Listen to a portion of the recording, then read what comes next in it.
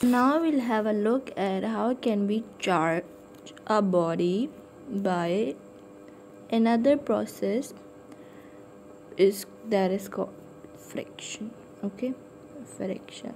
It's not like the friction of um yeah it can be like um, yeah i was there that uh, friction is the process by which only insulator can be charged conductor can also be charged but insulator are the object that cannot conduct electricity and they can only charge by the process of friction. Talking about the conductor so conduct can be charged by induction conduction and and uh, what do we say? Friction. Okay now we'll have a look how we're gonna charge. So like it is a process by which the bo- body get charged by rubbing the each other. Means by rubbing. What we can say? By rubbing. If i could give you the example like in old era what the people were doing they rub the fro- fro- uh, rock sorry and they get um, heat energy or you can say the fire. Okay?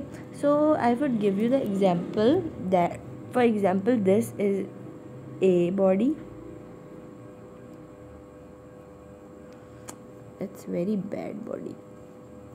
Mm, i would make with this this okay. Oh god. This is body number one. Body number one okay. And this is the body number two.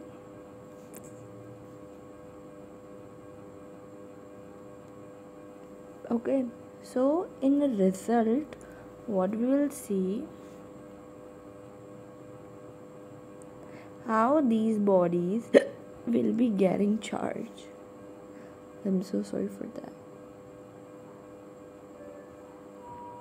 Okay so one will be getting another charge and both will be getting opposite charge. For example if it's conducting so, so one will, will get the positive charge and other will get the negative charge. So what's the phenomena? What why it all happens? We'll see. For example by rubbing the body the two object will get the heat energy. Okay? अब like um, we are rubbing it okay? We we are rubbing these both these both okay? So by rubbing we'll get the heat energy first okay? Heat energy okay? We'll get the heat energy first. Then that heat uh, get uh, that heat energy will increase the temperature then the kinetic energy will be there. Means the kinetic energy will be produced.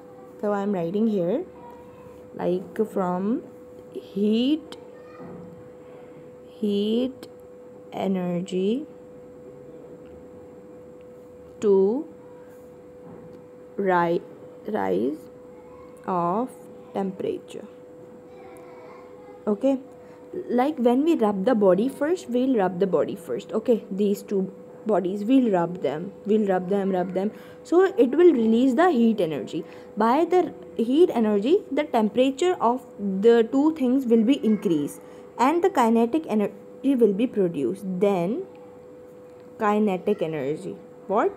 Kinetic energy. Kinetic energy. And then energy. And then the body will be start shifting the electrons. What? The body will be start shifting the electrons. So by the shifting of the electrons the body will get the uh, opposite charge. Both body will be getting the opposite charge okay so this was it about it. Now we're gonna see what's the unit. Like here another term term is defined that is work work friction. What is work friction? Work friction is basically the minimum energy or minimum like you can it's the symbol minimum energy. Minimum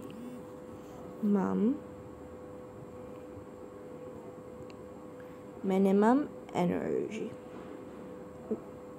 Oh god it's very messy right?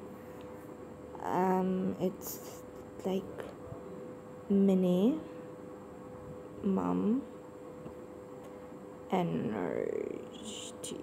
Okay? It's the minimum energy. So what's the unit of it?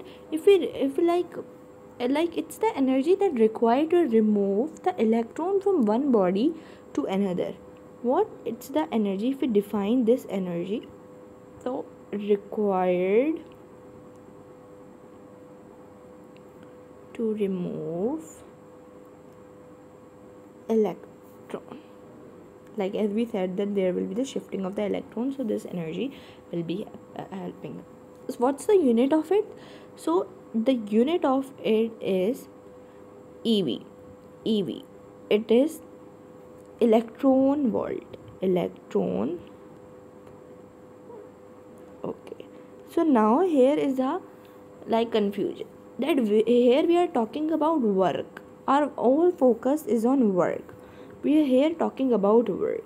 Let me like highlight okay.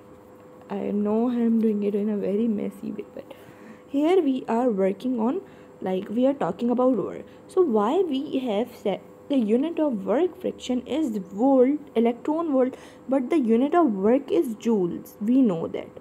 Okay? So here we are that is why we have said because here we are talking about the subatomic particle work like the energy of subatomic particle. We are talking about the energy of subatomic particle. That is why this is the electron volt is the unit of work over here otherwise it can be joules. But here we are talking about the subatomic particle and that is what? That is electron. Okay? I hope that is clear